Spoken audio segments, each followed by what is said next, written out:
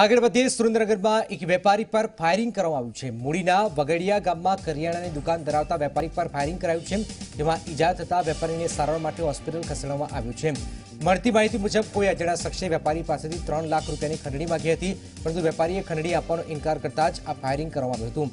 બે round firing કરવામાં આવ્યું હોવાનું પણ સામે આવ્યું છે. ઘટના બાદ પોલીસે ફાયરિંગ કરનારા શખ્સની શોધખોળ પણ શરૂ કરી છે.